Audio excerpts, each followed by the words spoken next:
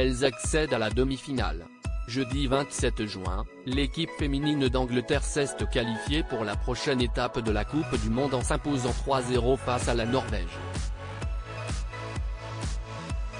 Une victoire qui a ravi de nombreux supporters britanniques, mais également le prince William.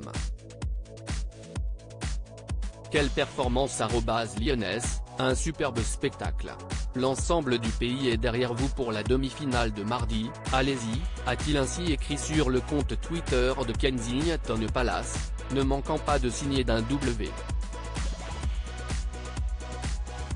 Véritable fan de football, ce n'est pas la première fois que le mari de Kate Middleton se réjouit publiquement d'une victoire britannique dans ce domaine.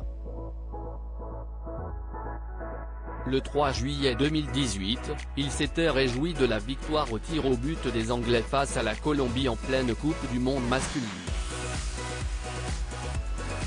Alors en voyage officiel en Jordanie, il s'était débrouillé du mieux possible pour ne rater aucun match de l'équipe d'Angleterre, à tel point qu'il avait demandé à ses accompagnateurs de ne pas lui dire le résultat du match. Il avait ensuite regardé en différé en compagnie du prince couronné Al Hussein bin Abdullah. Et si pour le moment les Britanniques sont toujours dans la course pour tenter de décrocher le titre de championne du monde, le prince William lui, peut se réjouir d'avoir obtenu, avec Kate Middleton, la place de personnalité les plus influentes du Royaume-Uni à travers le monde selon le magazine Tatley.